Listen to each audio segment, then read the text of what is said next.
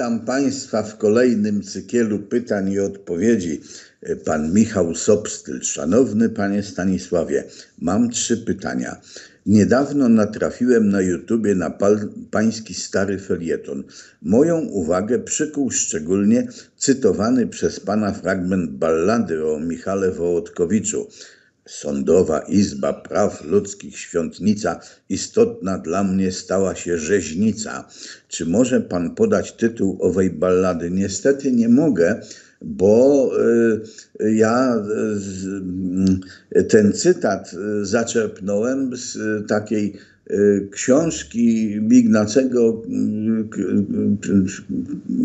nie, przepraszam, no Kraszewskiego, Kraszewskiego, Y, który y, tam pisze między innymi o tym, takie opowiadanie zamieszcza, jak to y, pewien Bernardyn przybył do szlachcica, no i ten mu opowiada o tym wszystkim, cytuje właśnie ten fragment tej ballady, którą Michał Wołodkowicz miał przed śmiercią napisać, no i potem, że tam kulę dostał i tak dalej, a ten ksiądz mówi, ten zakonnik mówi, no jak to po śmierci balladę napisał i tak dalej, no i tutaj tego gospodarza to zreflektowało, mówi, o to jak miło posłuchać mądrego człowieka, od razu spenetrował prawdę i tak dalej.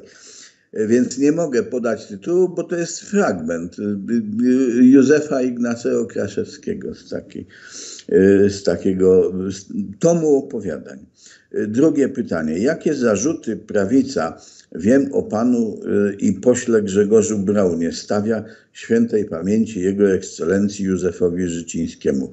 No to nie są żadne zarzuty, po prostu stwierdzamy fakt że jego ekscelencja Józef Życiński był tajnym współpracownikiem Służby Bezpieczeństwa o pseudonimie Filozof.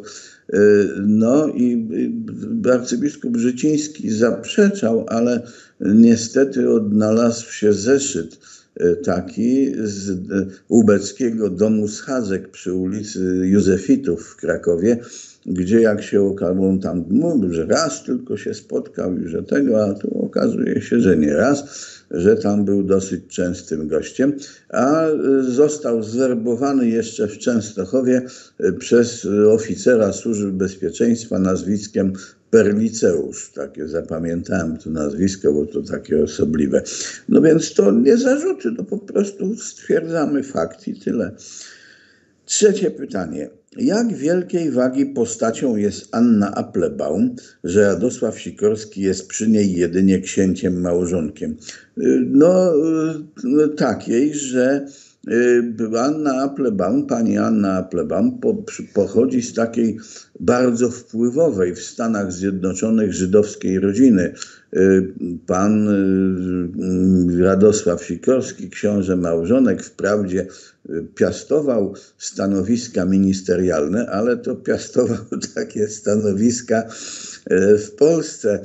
W związku z tym przy pani Annie Applebaum może uchodzić za takiego, no powiedzmy sobie,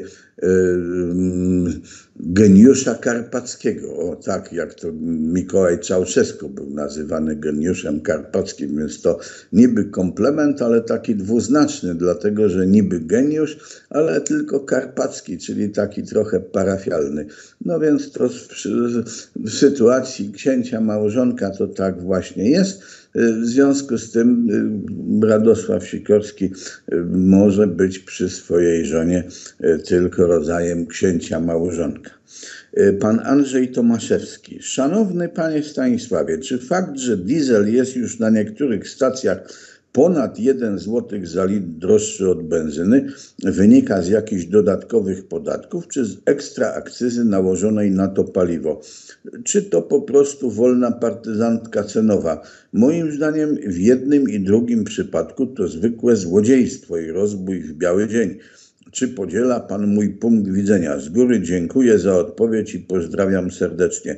No, ja tu potwierdzam, że to zwykłe złodziejstwo i rozbój w biały dzień, ale nie jest to jakiś jest, nie jest to efekt jakiegoś spisku, po prostu jest to skutek inflacji. Jeżeli inflacja 1% miesięcznie postępuje, a z taką właśnie sytuacją mamy do czynienia, no to nic dziwnego, że wszystko musi drożeć, również paliwa. A jeśli chodzi o diesel, no to muszę powiedzieć, że tak samo jest w innych państwach, na przykład w Stanach Zjednoczonych diesel jest droższy od benzyny.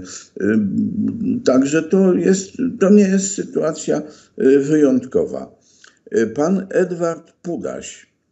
Jeśli można, to szanowny panie Stanisławie, chciałbym zapytać, jak to jest z ustawą 447 i jej reperkusjami?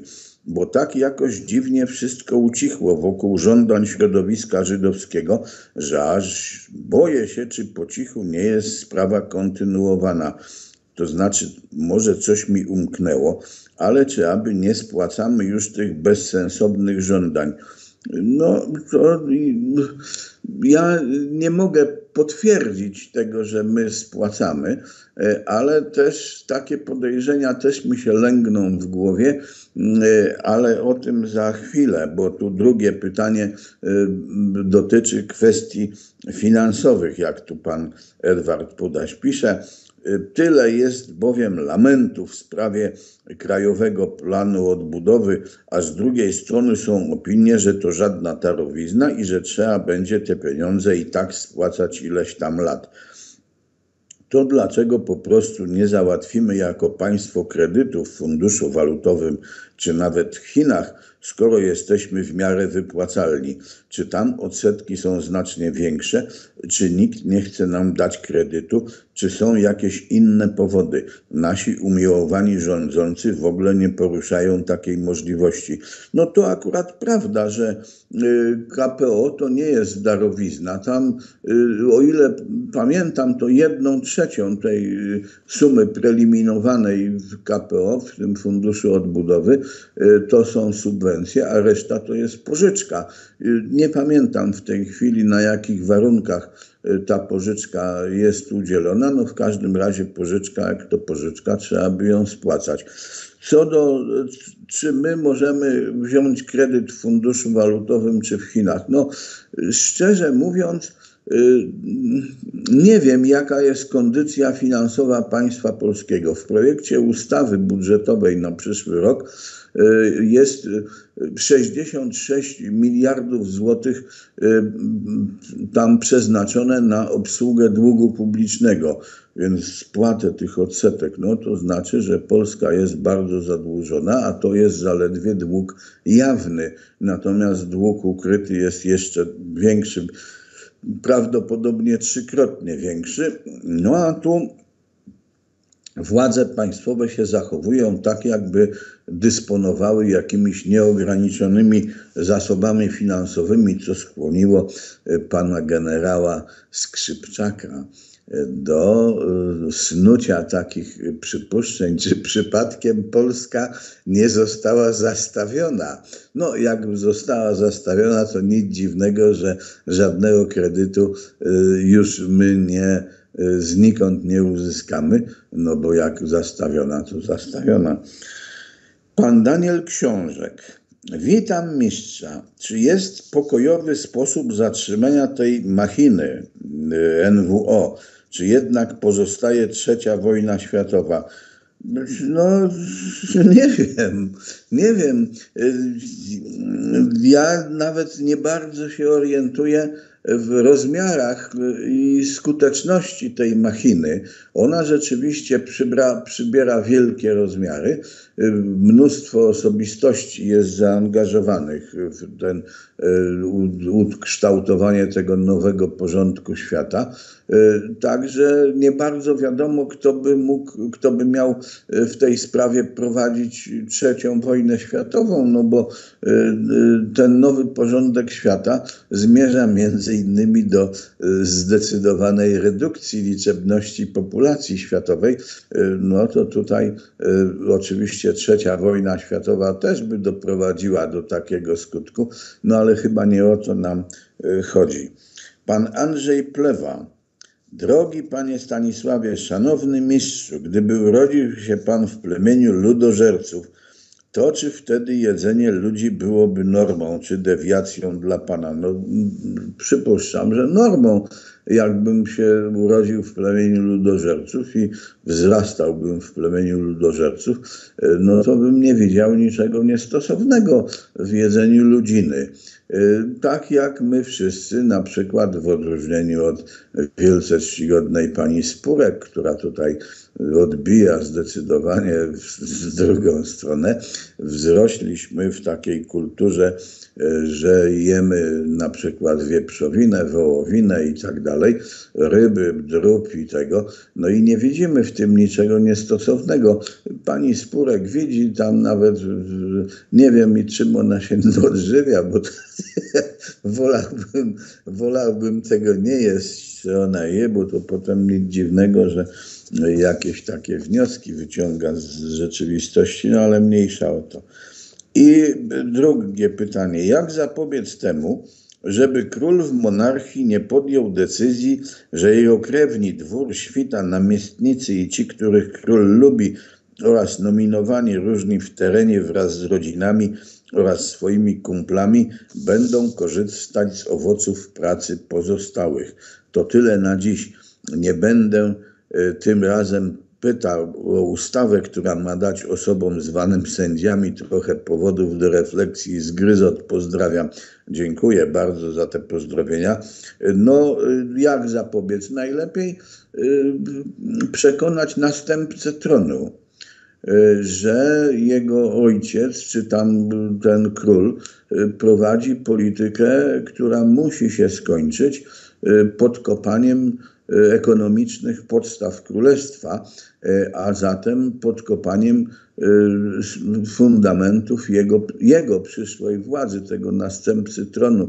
No i wtedy następca tronu, e, można go przekonać w pół godziny, może tam tego króla też przekonywać, żeby trochę powściągnął tę rozrzutność swoją, a jak nie, ten tamten jest już taki przyzwyczajony do tej rozrzutności, to udusi go poduszką zwyczajnie, a potem naturalnym biegiem rzeczy ci wszyscy beneficjenci zostaną pozbawieni tych wszystkich benefitów, no i sytuacja wróci do normy. Także w monarchii takie rzeczy się załatwia w taki sposób. W republice to trzeba jakieś rozruchy, trzeba tam mnóstwo krwi przelać i tak dalej. W monarchii nie. Wystarczy króla głupiego udusić poduszką. Mirosław Jorgen Wiśniewski. W związku ze śmiercią Elżbiety II mam dwa pytania. Po pierwsze, primo. Kiedyś wypowiedział pan opinię, że dopiero śmierć królowej Wiktorii zakończyła wiek XIX. Czy teraz uważa pan, że śmierć Elżbiety II dopiero zakończyła wiek XX? Czy może ważniejszym wydarzeniem była śmierć Jana Pawła II? No, myślę, że y, z perspektywy czasu, a już to możemy ocenić, to śmierć Jana Pawła II nie była takim wydarzeniem, można powiedzieć tak, że y, po śmierci Jana Pawła II pewne procesy, które wcześniej y, no, nie były tak widoczne w Kościele powszechnym, y, przyspieszyły, stały się widoczne. No, abdykacja Benedykta XVI, mniejsza o powody, chociaż to też jest istotne, bo Benedykt XVI twierdził, że on tutaj z powodu stanu zdrowia abdykuje, no ale widzimy, tyle lat minęło, a Benedykt XVI trzyma się, daj Boże każdemu, żeby w tym wieku się tak trzymał, więc chyba nie o zdrowie w tym przypadku chodziło, tylko o coś innego. No i papież Franciszek, który no też tam różne takie zastrzeżenia budzi, więc myślę, że taka charyzma medialna Jana Pawła II y, przykrywała te procesy, które cały czas w Kościele nurtowały. Także myśmy ich nie widzieli, zwłaszcza tutaj w Polsce, bo gdzie indziej to może inaczej to wyglądało. Natomiast także dlatego uważam, że śmierć Jana Pawła II nie pociągnęła ze sobą jakichś takich skutków. Natomiast jeśli chodzi o królową Wiktorię, no cóż, takim można powiedzieć, że wiek XIX tak naprawdę y, skończył się dopiero w 1914 roku, y, kiedy wybuchła y, I wojna światowa, bo I wojna światowa doprowadziła do całkowitej destrukcji starej Europy z czego, już, z czego już nigdy Europa się nie otrząsnęła, tym bardziej, że nastąpiła potem rewolucja bolszewicka, nastąpiła rewolucja narodowo-socjalistyczna w Niemczech ze wszystkimi tymi ekscesami jednych i drugich. No i w tej chwili już Europa po dwóch można powiedzieć, wojnach domowych europejskich y, utraciła swoją pozycję, między innymi Imperium Brytyjskie zostało przy pomocy wydatnej Stanów Zjednoczonych y, zlikwidowane, bo Stany Zjednoczone y, na grozach Imperium Brytyjskiego założyły własne imperium, no i teraz próbują je utrzymać.